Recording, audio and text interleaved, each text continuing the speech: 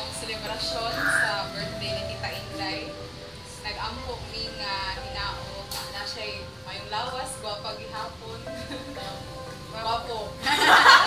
so, maka-share siya siyang talent nga sa may pagtutong sa generosity sa ilang generosity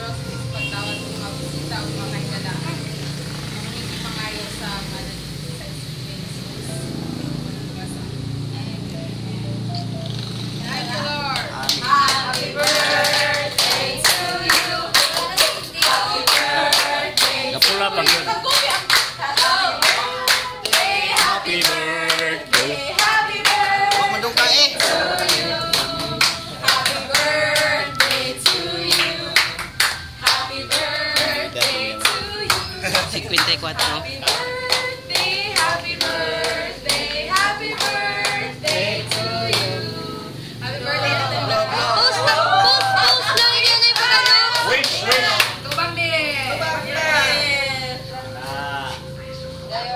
Wish pa tita. Tara, magsulat. Good.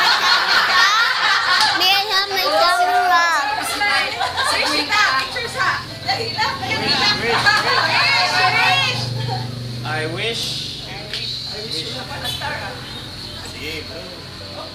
I wish to be a millionaire. Someday. Yay! Happy birthday! Good health lang. Itagawanin mo kami kwarta. Insurance kami. Or